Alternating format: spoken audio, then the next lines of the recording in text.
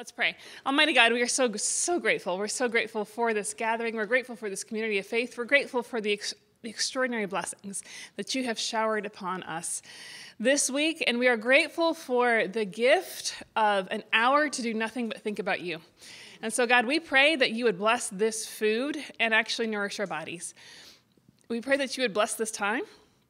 We pray that if there is anything distracting us from actually being here and turning our attention to you, that you would take it away.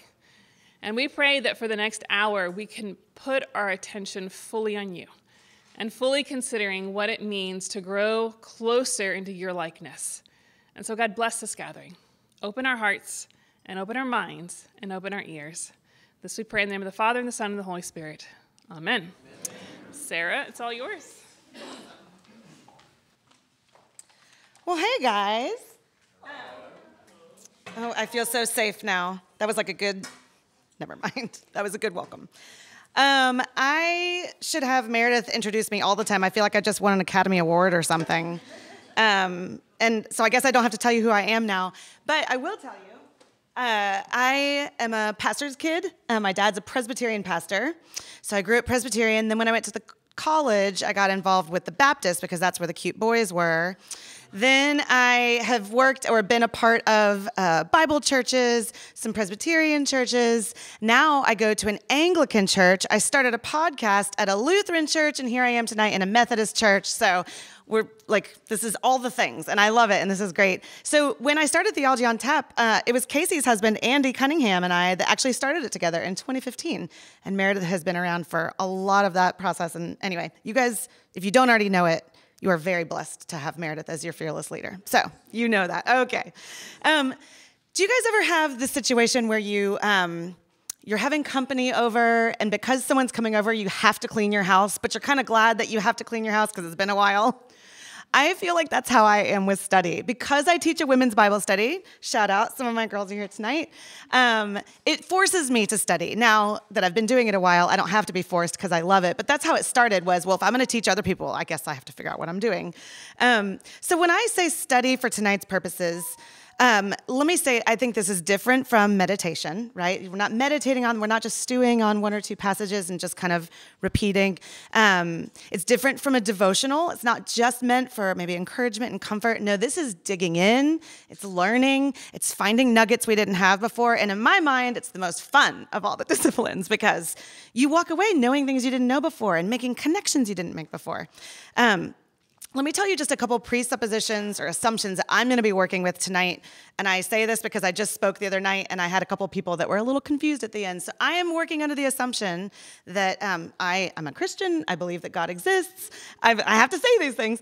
Um, I believe that He made the world, and I believe that the scripture that we have is what He wants us to have. I'm not going to make any sweeping statements about you know, inspiration or inerrancy or any of that, but that the Bible we have is what God wants us to have and He wants us to study it. And if you want to argue more about all of that, our next event, which I'm going to do a shameless plug for right now, is March 19th. You can all come. We're going to be talking about does the Bible sometimes get it wrong? I don't think that the Bible does get it wrong, but that's the hook. So, those are the presuppositions I'm coming into this with. I'm a Christian, and many of you are, maybe not all of you, but you can still have fun studying the Bible. So, why? Why study Scripture? Obviously I think it's fun, but in my mind, it's not something that we should do, though we should, but it's something we get to do. What I mean by that, and I'm only going to read a couple of these, but they're all throughout the Bible. The Bible talks about all of the ways that we will be blessed and our lives will work better if we study scripture. Okay? Joshua 1 8 and 9 is that classic, everybody has heard this be strong and very courageous. Be careful to obey all the law my servant Moses gave you. Do not turn from it to the left or to the right, that you may be successful wherever you go. Keep this book of the law always on your lips. Meditate on it day and night, so that you may be careful to everything, uh, to do everything written in it. Then you will be prosperous and successful. And it goes on and on. Revelation 1 3, I'm in Revelation world right now because that's what I'm teaching my Bible study. The very first chapter, the third verse, tells us that if you read it aloud, you'll be blessed. Blessed is the one who reads aloud the words of this prophecy, and blessed or blessed are those who hear it and take heart, take to heart what is written. That's a pretty cool thing. It's promised blessing. And then the last one I'll read for tonight, Psalm 1, 1 to 3. You guys have probably heard this before.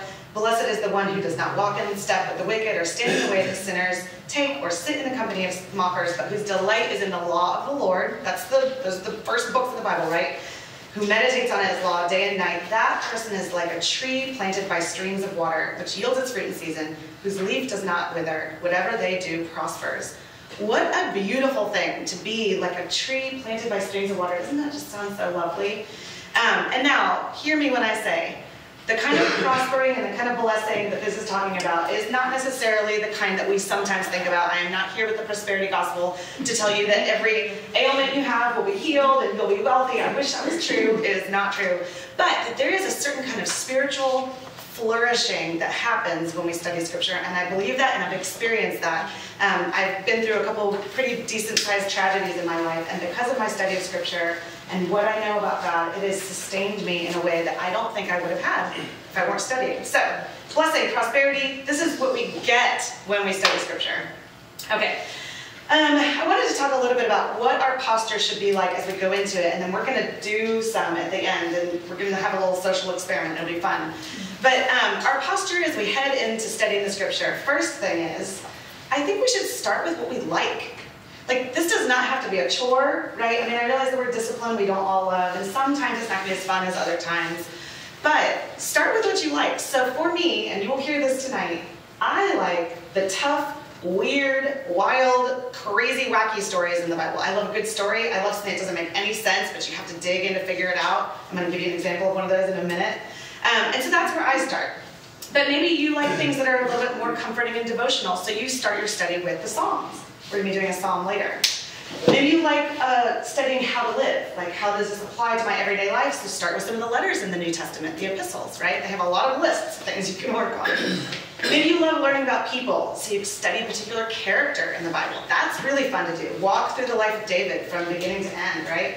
Um, maybe you're a history buff. You could study a particular city. Y'all, we're going to talk about Ephesus tonight. It was really broken or a period in biblical history. Like what happened when Alexander the Great came on the scene? Whoa, that matters a lot for how we read our Bibles. Um, maybe you're a literature nerd, so you can study a theme of scripture.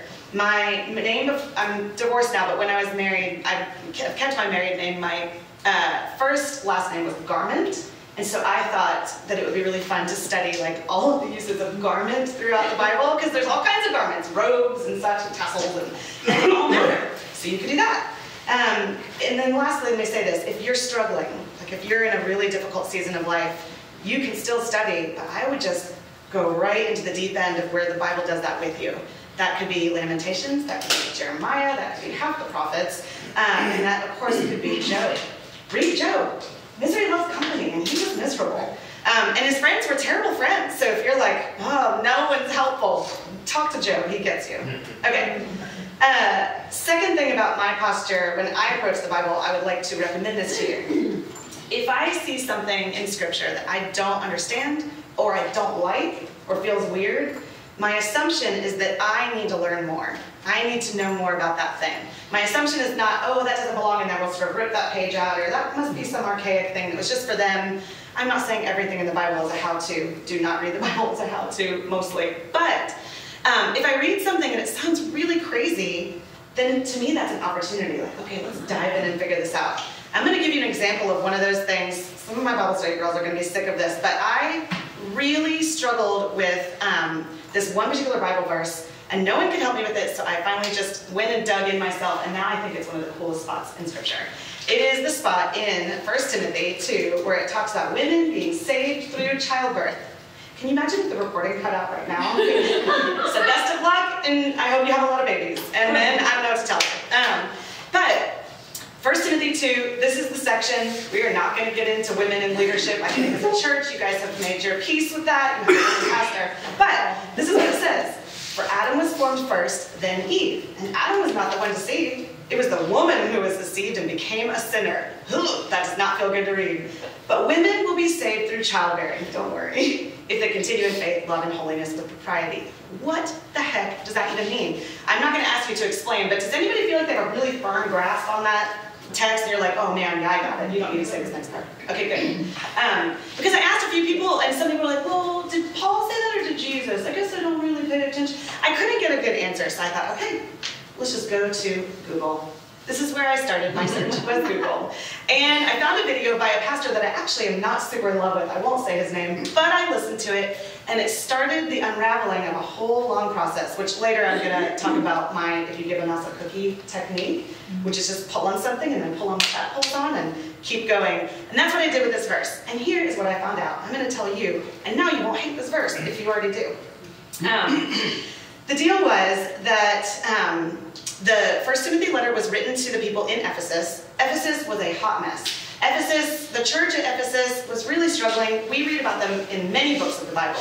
Ephesians, 1st and 2nd Timothy, Revelation, probably some more that your pastor can tell you about. But um, the problem at Ephesus was that there were a couple problems. One, they were worshiping um, the goddess Artemis. There was a big temple to Artemis. This is a goddess. I do not believe this is a real god. Um, but the goddess Artemis was this goddess of like fertility and life and sex and womanhood, femininity. Um, and so, and all of the practices to her had to do with sex and having children and all that kind of stuff. So there was Artemis worship going on, and the new Christians were trying to be Christians, but also do a little bit of this. And then they were having a problem with Gnosticism, which is just a fancy word to say that they really valued this like special knowledge that you could sort of transcend your body and know almost magical things. And the body is just trash and it gets in our way. But what really matters is knowledge. Gnosis means knowledge, right? So they had a little bit of Artemis worship going on, and then they had a little bit of Gnosticism going on. And when you mix those things, what you get is a worship or a tangled up sort of theology of Eve.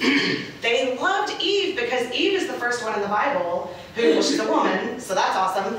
Um, and she had this special knowledge, right? The snake came, the serpent came to her, and he kind of told her a lie. And, um, and then Eve took the fruit from the tree of the knowledge of good and evil. So the people in this church are sort of conflating all these things, and they're trying, you know how it is to try to be in the world, but also be a believer, and try to reconcile these things and put them together. And the way they put it together was kind of worshiping Eve. So now Paul comes along, and this makes a little more sense. And he's like, yo, yo, yo, no, no, no. First of all, Eve is not some amazing heroine like you think. Eve was a problem. Let me remind you, he's not saying this that Eve was worse than Adam, but let me remind you, she did kind of move up first, you know? She's not who you think she is. And then, when he says this thing about childbirth, um, the first video that I found on Google talked about how the word through, that word is only used one other place in the Bible. It's used in 1 Corinthians 15. I've realized that I've put all these things in the wrong order in my notes, which is awesome. So I'm just going to do this from memory. But in 1 Corinthians 15, there's a verse that says that people will be saved as through fire. Mm-hmm. And so when it's used that way, it's saying despite. Like in spite of the fire, which is refining, you will still be saved. Like you're going to go through yucky things, but salvation is from God, and so He will be faithful to carry you through to the end. Well, that kind of changes things. So now it's not that she's going to be saved because she's having babies, it's that she's going to be saved despite childbirth. So then I thought, well, where's childbirth mentioned first in the Bible?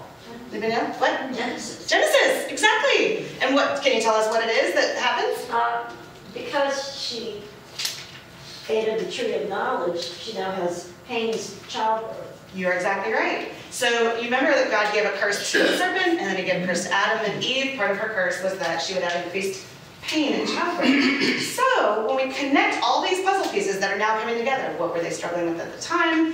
What is kind of Paul talking to? And then this idea that you're saved despite, you could almost read it as despite that curse, right? And so what this Bible verse is actually saying, you have to dig around for it, right?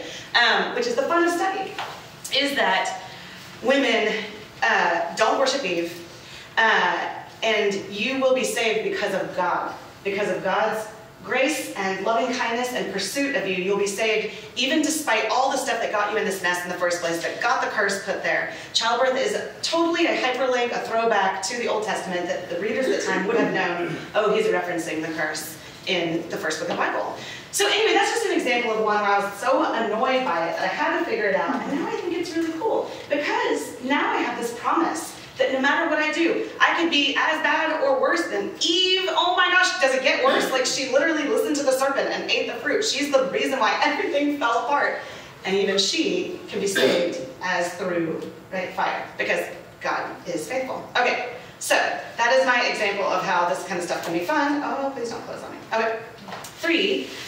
If I don't understand something, that's okay. So when you're studying, I've heard this, uh, if you guys have ever watched the Alpha videos, they talk about this, they use this um, example of um, studying as like a crossword puzzle. And if you get to one that you don't know the answer to, you just keep, you don't stop the whole crossword puzzle, you keep going. And as you fill things in, some of the letters from that word are gonna start to pop up, and then when you go back and read it, you're like, oh, this would be an example of one of those, right? I could go back and read it once I had maybe read um, happening in Ephesus and Genesis. Okay. Lastly, as far as my posture when I study, um, and I know that you guys know this, but it's just always good to hear. Pray that the Holy Spirit will illuminate things. If you are a believer and you surrender your life to the Lord, you have the Holy Spirit dwelling in you, and it is just a ready, um, accessible help. Before you go to Google, before you go to whatever commentary or study Bible you have, just pray. Pray the Holy Spirit will open your eyes about something new. There's always something new to learn from Scripture, I promise you. All right, quickly, I just wanted to talk about some of the tools I use because I know you guys already have all of that kind of stuff, so I don't want to belabor it too long, but um, obviously a good study Bible, even maybe a systematic theology book is always fun. I have one that just has the topics in the back, so if I read something weird about angels, I'm like, oh, angels. okay, here's some references to that. Um, a great study Bible is helpful. I have a couple study Bibles I love. Is a cultural background study Bible, and one is a chronological study Bible. Just throwing those out. Um, I also like to collect people in my life that are experts on things and to acknowledge the like bias or the spot that they come from. So Meredith is like my go-to Wesleyan person, right? And then I have my go-to sort of reform person and my and if I'm teaching on Revelation, so I'm gonna you know, collect people that have different end times views and ask them what they think about things. Um, and I'm constantly texting people, hey, I hit a snag. Or someone that I know uh, knows Greek and Hebrew really well. Like I'll write to them and say like, what is this word in Greek? I don't want to study Greek. I'm going to make them do it for me. It's great. Collect them like uh, baseball cards. Um, and then of course there are online sources. We live in a pretty amazing modern age where we really can Google things. Google a few things, obviously, because some of it is weird, but um, the Got Questions website is actually pretty good. It does come from a certain perspective, but it'll tell you that if it's a tricky question, it'll say, now we think such and such, but here are the other views. Um, the Bible Project, anybody know about the Bible Project? All the cartoons and stuff, those guys are great. Um, and then good old Google, like I said. Okay, um, I know study will look different for different people, so I think I should also just say, when I was growing up and I would go to camp and they would talk about studying your Bible, they would talk about doing a quiet time every day. And I, that became like a chore to me, and it wasn't until my like post-divorce adult life that a pastor finally said, you know, you don't have to do that. You don't have to have a quiet time every day. God still loves you and you can still love him and that might not work for you. And so what works for me is a little bit different. What works for you might be different. It might be that you drive a lot and so you're gonna listen to sermons and podcasts as you drive and then dig in a little bit later. Um, it may be a certain devotional the book that has some questions that kind of search out the topic. Um, and it is okay for that to look different for different people. Okay, we're not all going to be opening up our Greek New Testaments. I don't even have that. I don't have Greek. Um, okay, but now to the real question of how is study transformational? That's the word, right? If you guys are doing these spiritual disciplines, it's so that it will transform you. It will um, make you more like Christ. The first thing is the more I learn about any given passage or story, the more beautifully connected I see the Bible as being. And that's not just that it's a neat tapestry that all works together, it is one continuous story of rescue and love. The, the whole Bible is, even the weird stuff, even the list of rules that are like seem like they don't apply to us anymore, even the genealogies, all of it is one massive work talking about the redemptive work of Jesus and how much God loves us and came to rescue us. I'm going to steal uh, from a children's Bible that I love. Have any of you ever read the, or have kids and grandkids that um, the Jesus Storybook Bible. Do you know about this Bible? Perfect. Okay. So Meredith's heard this part before, but um, at the very beginning of this, before they get into all the stories, it's been talking about, oh, is the Bible a list of rules? Is it a list of heroes? And then this is, I just love this one paragraph. This is what it says No, the Bible isn't a book of rules or a book of heroes. The Bible is most of all a story. And who doesn't love a story, right? It's an adventure story about a young hero who comes from a far country to win back his lost treasure. It's a love story about a brave prince who leaves his palace, his throne, everything to rescue the one he loves. It's like the most wonderful of fairy tales that has come true in real life. You see, the best thing about this story is it's true. There are lots of stories in the Bible, but all the stories are telling one big story the story of how God loves his children and comes to rescue them. And it takes the whole Bible to tell this story. And at the center of the story, there is a baby. Every story in the Bible whispers his name. I'm going to read that one more time. Every story in the Bible whispers Jesus' name. He is like the missing piece in a puzzle, the piece that makes all the other pieces fit together, and suddenly you see a beautiful picture. And this is no ordinary baby. This is the child on which everything would depend. This is the child who would one day, oh, but wait, our story starts where all good stories start, right at the very beginning. And then it goes on to tell the story. So listen, if you need to start here for study, start here, right? Uh, it's fantastic. Okay. But I do love that everything does work together in this giant fabric to tell this one big narrative of rescue. Um, and by the way, also just kind of selfishly speaking, the more you realize how connected the Bible is and prophecies that come true and sort of hyperlinks back to the Old Testament and all the things working together, you also realize there's no way this is just man made. Like this Bible is not just something that a bunch of men put together, like the Victor, you know, writes the stories or whatever. No, this thing is divine. And we can talk more about how that works, but it for sure divine. Something divine is happening here. Okay, so one way it's transformational is because it reminds me of this beautiful overarching narrative. Two, my life works better when I do this. When I study scripture and I take it in, the Bible says a lot of times those who have ears to hear, right, to really listen, to really be open and take it in and actually try some of the stuff that it suggests, your life will be better. Again, not because you won't get a cancer diagnosis or sad things won't happen, but you will flourish in a way that um, I think it's Psalm 20, no, it is Psalm 23 that talks about how uh, he restores your soul. That happens when you study scripture. I learn more about God's character. Uh, here's just a little example of something I just learned about a couple years ago. Um, that in the um, creation narrative, or when um, God is making Eve, it says that he took a rib from Adam. And you've probably heard this that that word rib probably better translates to like side. He took the side of Adam. But did you know, and if you did, that's awesome, but I didn't know this until a couple years ago, that that word side, the only other time that the, that language is used is when they're talking about building the temple. It's an architectural term, like the side of a holy structure that's going to house God. Whoa. So the word that's used to create Eve from Adam is to build a structure where God is going to dwell. Well, that kind of changes things, right? It's not like, ah, this old rib will do. You know, it's like, no, no, no, this is something holy and sacred and special. Um, and I, I just love that kind of thing. It tells me more about God and how he views me. And lastly, I learn more about myself all of the stuff that I do when I'm studying tells me about how God sees me, um, where my weaknesses are, right? I mean, there's a lot of stuff in the Bible about idols, and it's easy to read that and be like, idols, those people in the Old Testament could not stop making everything an idol. I'm glad I don't do that. But of course, the more you study, the more you realize, oh, I do it just as much. They just look different now, and actually not that different. Um, but that kind of self awareness, um, I don't think that comes from anything else. Okay, so I told you that my method of study is sort of a, if you give a mouse a cookie. Have you guys read that book or heard of the book? It's a children's book. The children's book is basically if you give a mouse a cookie, he's going to ask for a glass of milk. And then when you go to the fridge, that's going to remind you. I don't remember the rest of the story, but it's going to remind you of something else and something else and something else. And next thing you know, there's a giant art project happening and the house is a mess. And, and it's cute. And there are like a million of them made. If you give a pig a pancake, on and on it goes. But the idea is, and this is how I do it, I don't suggest that you need to do it this way, but this feels free to me. When I'm going to study something and I choose what I'm going to study, maybe it's a weird story. I pick something that I don't understand and I dig, and then that will take me somewhere. And I'm like, well, that's kind of interesting. Okay, let me take that there. Ooh, okay, I wonder where that says that in the Old Testament. Probably somewhere, if I'm not already in the Old Testament, or even if I am, further back. And I just keep going and going wherever it takes me because I have my whole life to do this. I don't have to stay on track. You know, maybe that's not how you work, but this is how I work. And this is how I find these interesting tidbits, and then they all come together.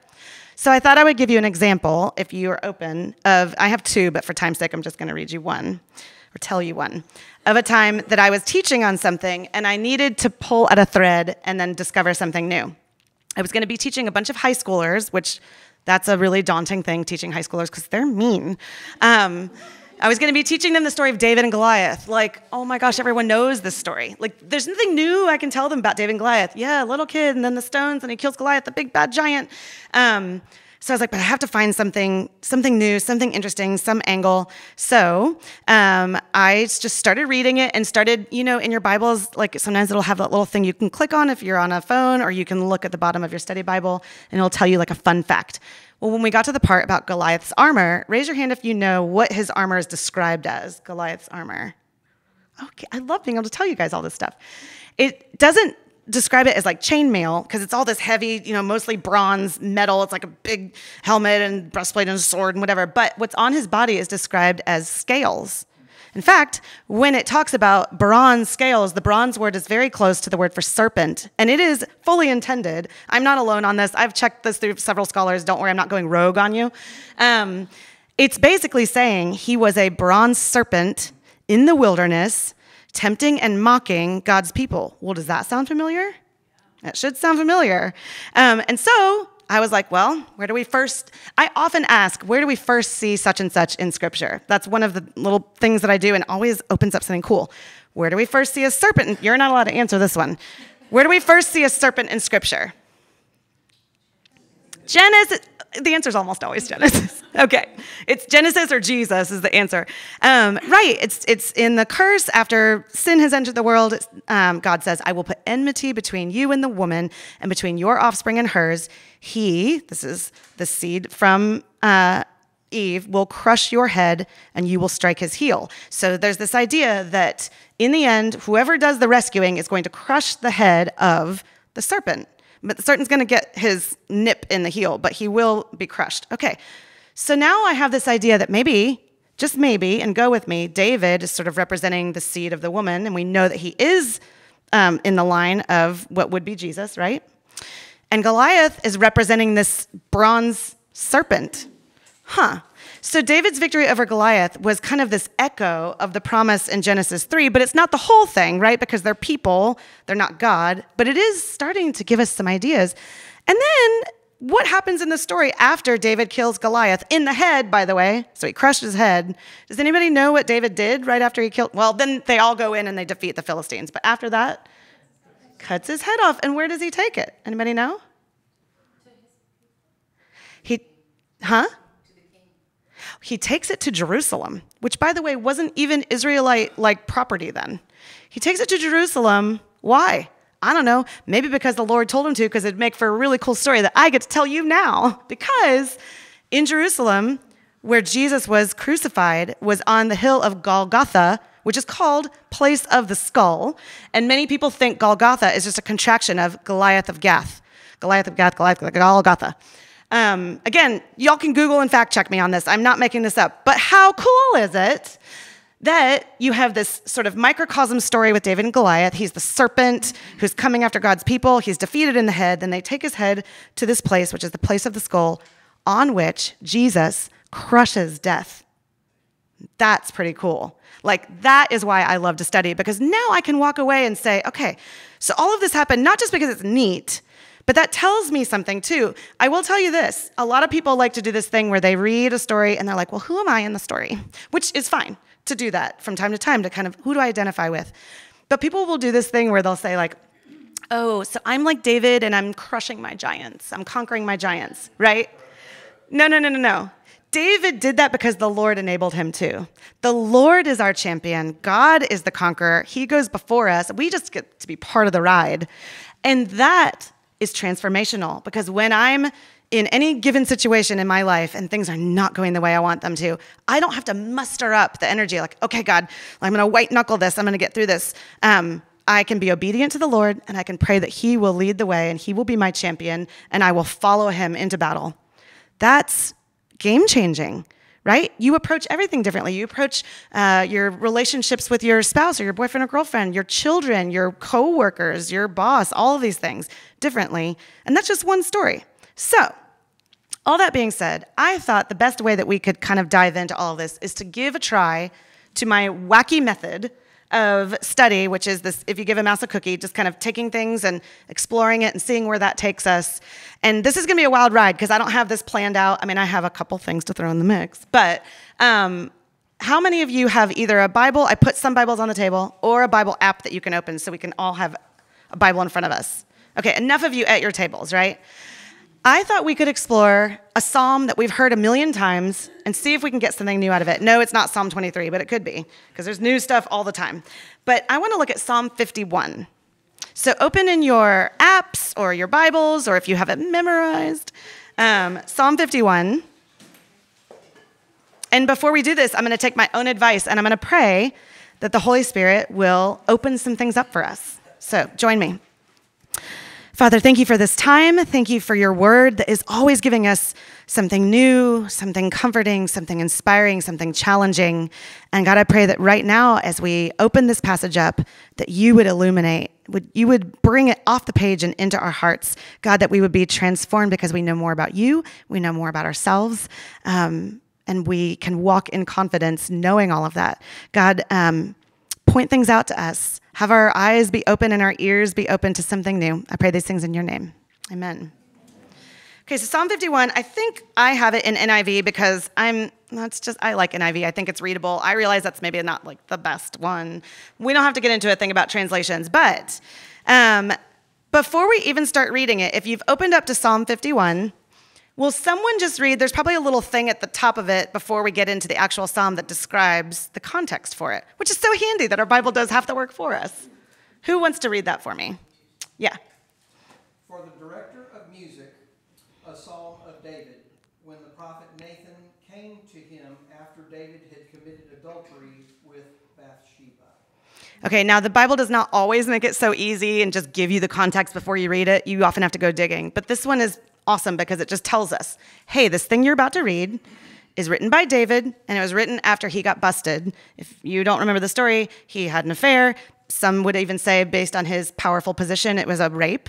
Um, and then he had the husband of that lady killed on the front lines of battle. I mean, these are bad, bad things.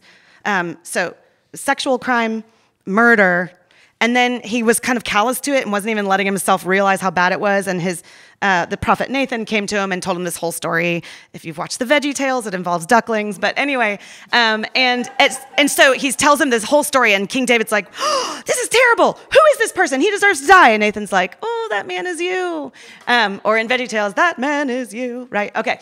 Um, and David all of a sudden is like, just it, it all hits, and he realizes just how awful he's been and how he's um, sinned against God. And he pens this passage. So I want us to read it with that in mind.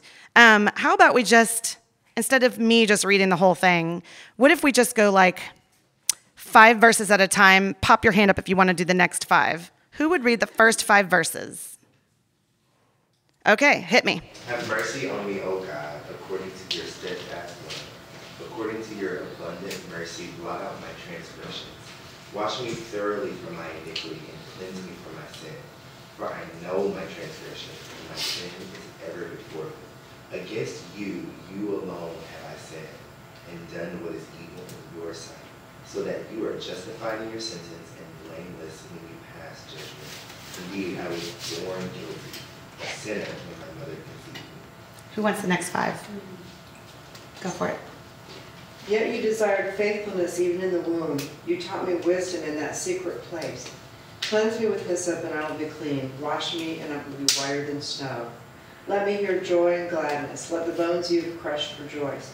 Hide your face from my sins and block out all my iniquity. Create in me a pure heart, O God, and renew a steadfast spirit within me. Who will take the next five? Go for it. Cast me not away from thy presence and take not thy Holy Spirit from me. Restore unto me the joy of thy salvation, and uphold me with a spirit. Then will I teach transgressors thy ways, and sinners shall be converted unto thee. Deliver me from blood guiltiness, guiltiness, O God, thou God of my salvation. And my tongue shall sing aloud of thy righteousness. O Lord, open thou my lips, and my mouth shall show, shall show forth thy praise. All right, the last section. All right. For you do not desire sacrifice, or else I would give it. You do not delight in burnt offering. The sacrifices of God are a broken spirit, a broken and contrite heart. These, O God, you will not despise. Do good in your good pleasure to Zion. Build the walls of Jerusalem. Then you shall be pleased with the sacrifices of righteousness, with burnt offering and whole burnt offering. Then they shall offer bulls on your altar.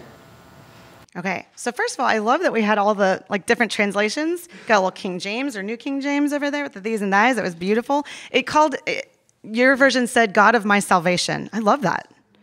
What was it? New American Standard. Oh, New American Standard. Okay. Um, so before we dive into maybe some of the um, nifty little nuggets, are there any words or phrases that kind of jump out at you as maybe like being a little tougher or I don't quite understand what that means, we're going to go for like confusing or difficult. Just throw your hand up and say it, or don't even throw your hand up. Just anything that you're like, I don't know what that is. The, the bones you have crushed rejoice. Okay, yeah, that's a little weird. Um, anybody think they kind of understand what the bones you've crushed rejoice means? We're gonna we're gonna like group think this.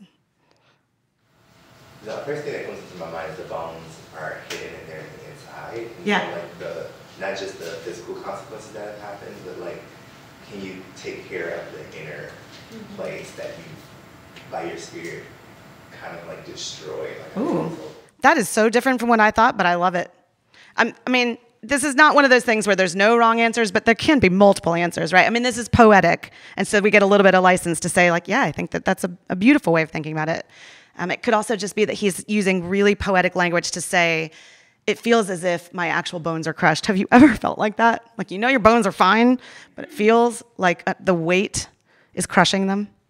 What's another sort of tricky, like, what does this word mean? I haven't heard of this or I, I don't know much about it.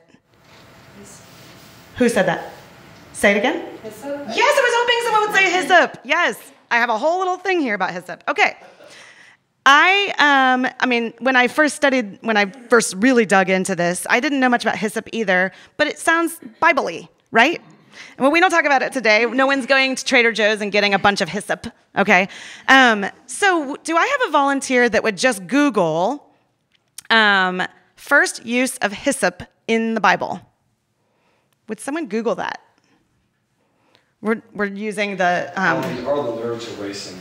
What's that? Oh, The the- lyrics are racing. Who gets it first?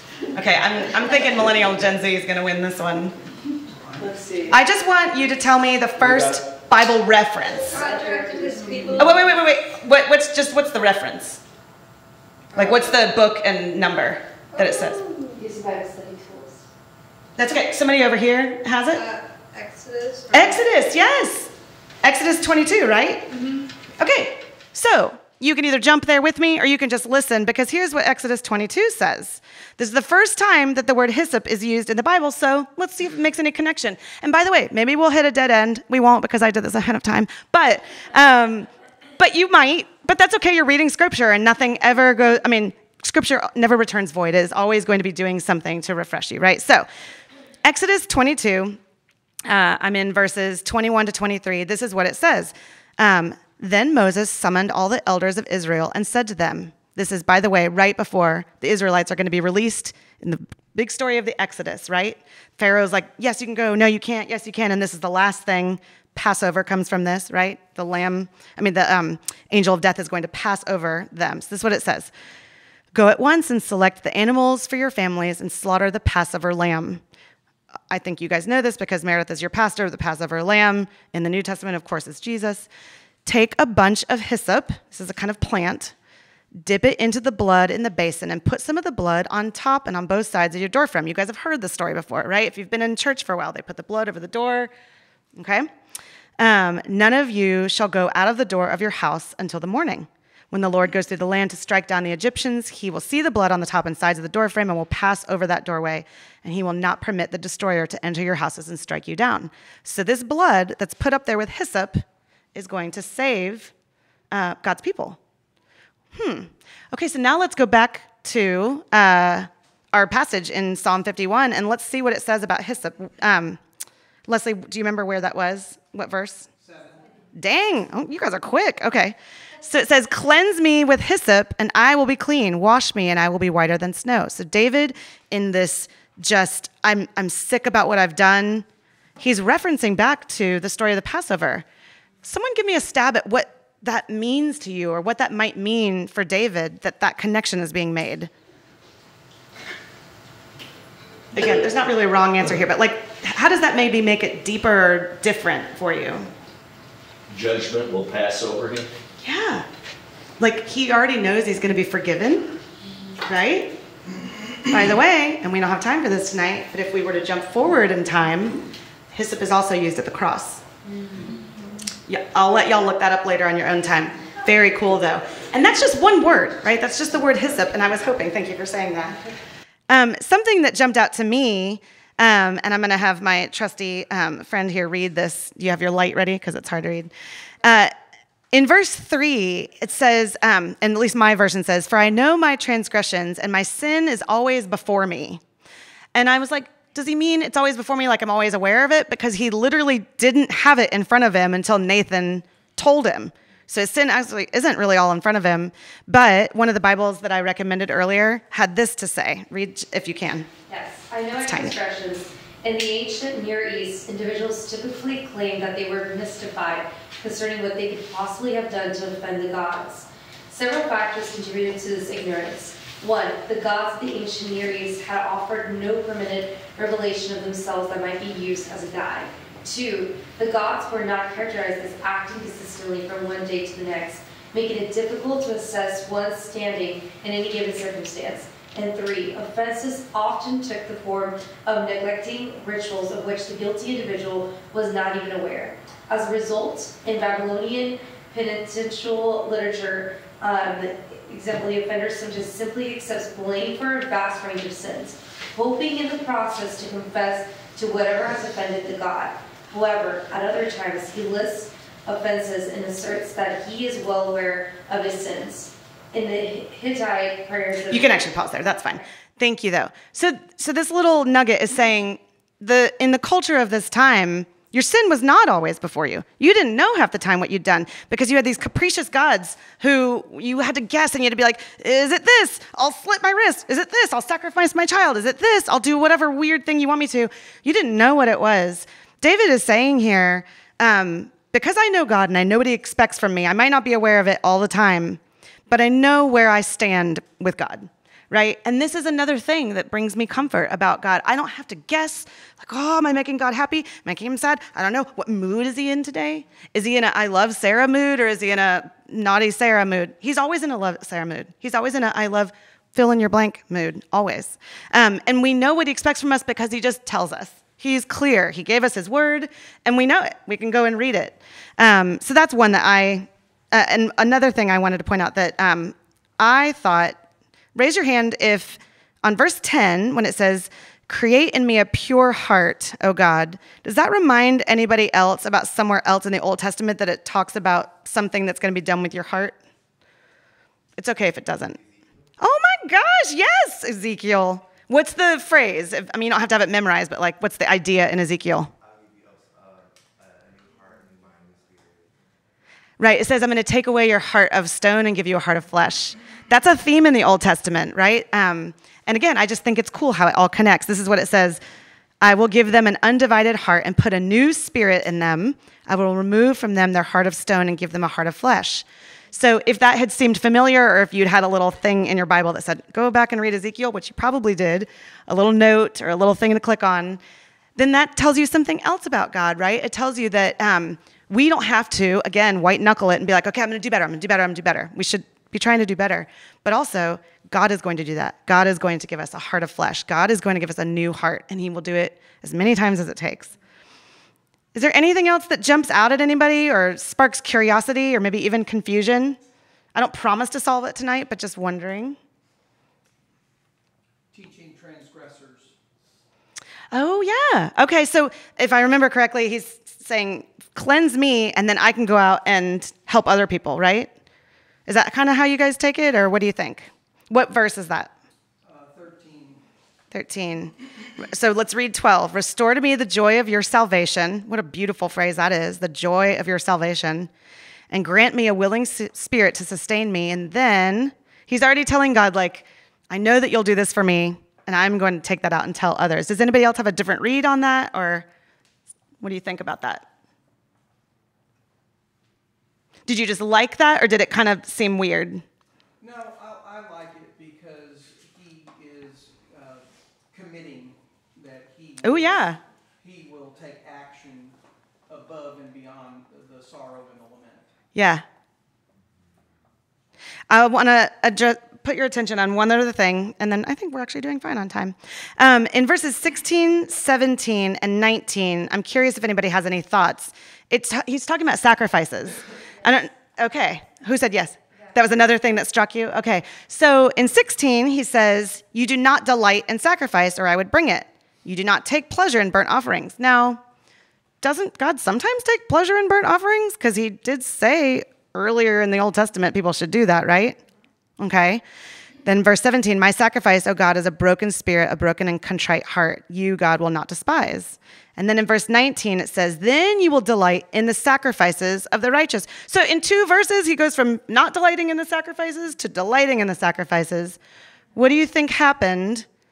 Like, what do you think David means when he says, You don't delight in it? And then he's like, Oh, but you will delight in it. Any thoughts? Is it the kind of sacrifices? Like. Maybe. Say some more about that. Or maybe somebody else. Boom. Yeah. So just doing the thing. I mean, there is something lovely about doing the motions. You guys are studying disciplines right now. There's something good about that. But he recognizes we're we're not at this point right now. Like I can't be like, oh, no problem. Here's a bird. I don't know what the different things were. I can't remember. Um, he knows that's not what God wants, right? And so he says, What you want from me. And then he tells us right there, You want my heart to be broken about what I've done. And then once I, my heart is in a different place, then you will accept these offerings, right? I thought that was kind of cool.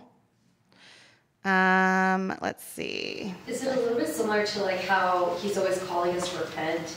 And it's almost like, you know, the broken spirit, broken picture, like in order for you to be broken for what breaks his heart, you have to realize that there that There's a problem. Yeah, there's a problem. Yeah. It's like there's repentance that's needed.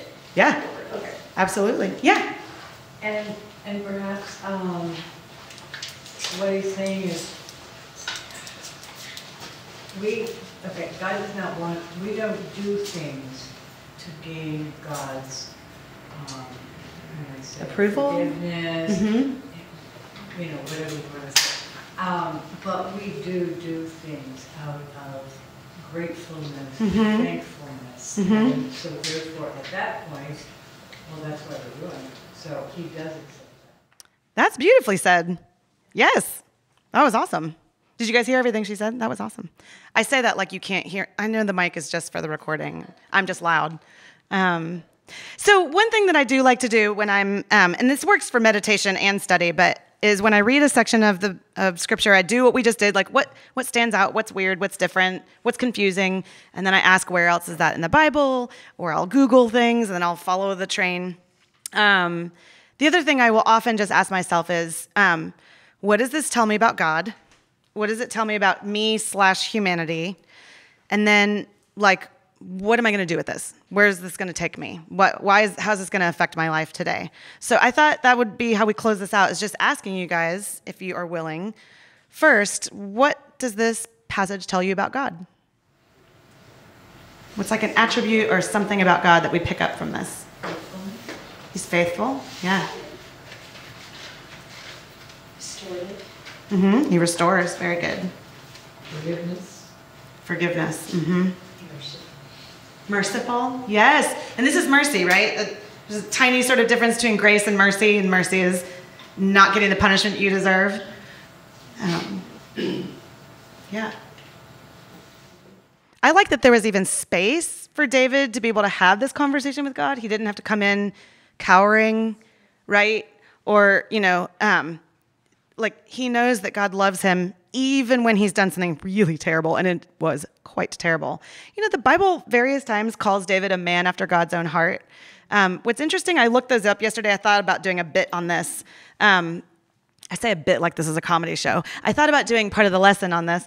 Um, the Bible has Samuel and other people say, or like it's from God's mouth, basically, like David is a man after my own heart. David isn't the one saying it. Other people in the Bible do like to refer to themselves as good things, like John, the beloved disciple, and I don't know, Moses has one about how smart he is, but um, but David doesn't say that about himself. God says that. He says he's a man after my own heart, and he says that long before and after he's done this thing. So I love that because it's like, oh, you could do the most terrible thing and you could still be searching after the heart of God, right?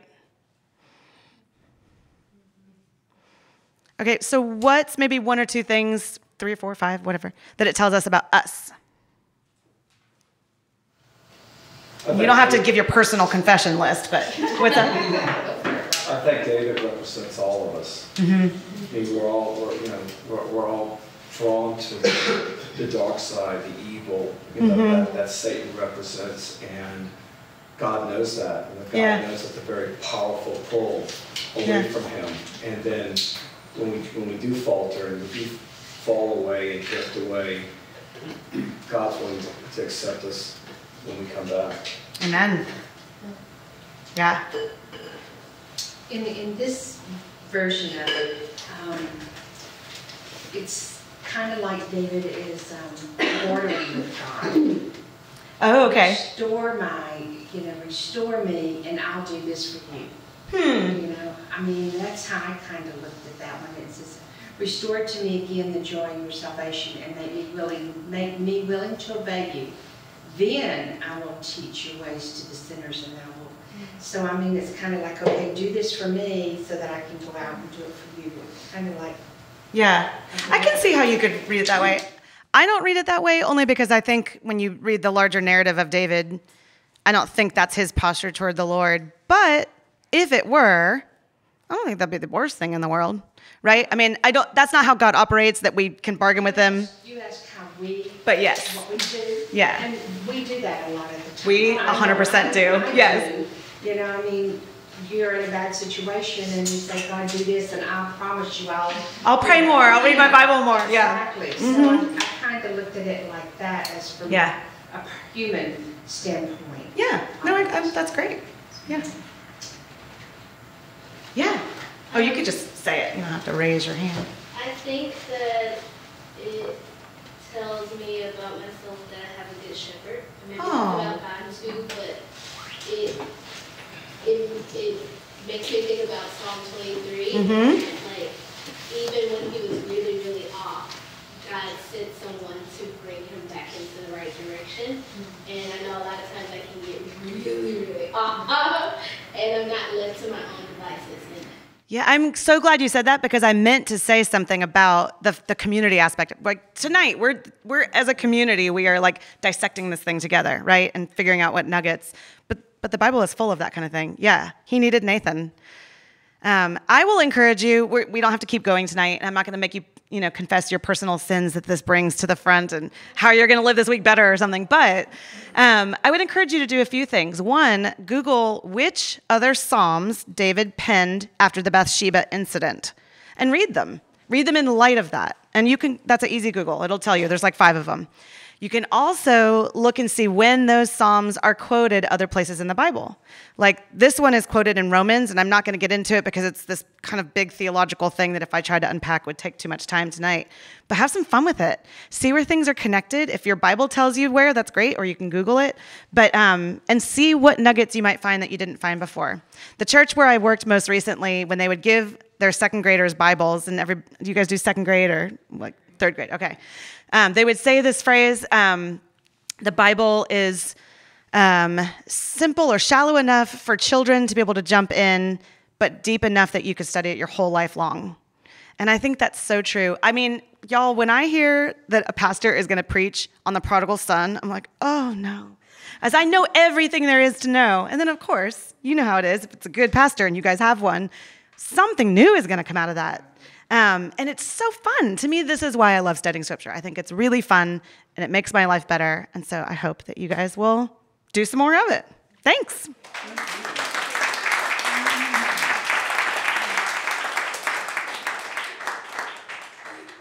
See, isn't Sarah awesome? Um, so I do encourage you if um, theology, the, what's the new name? Theology by the Pint um, does have a lot of po- a podcast, and um, and there's a lot of really interesting uh, topics that come out on that. So if you're interested in more just theological stuff, that's a that's a fantastic thing to look up and to listen to. Uh, for the she's she's able to hunt down a lot of really cool guests to get on that thing. And sometimes, yes, including Meredith. Okay, let's close in prayer. Almighty God, we are so, so grateful that you gave us minds, and we're so, so grateful that you gave us your word and so many opportunities to hear from you and learn about you more in your word. And so, God, I pray that you would uh, kindle within us a constant interest to learn more, that you would open in our lives the time and the space to be able to learn more, and that you would fuel our intellectual curiosity, even as you fuel our spiritual curiosity that as we dig deeper, we can find uh, the well that never runs dry and encounter you. Come, Holy Spirit, be with us as we go out into the evening and keep our spirits attuned to yours. This we pray in your name. Amen. Amen. Amen.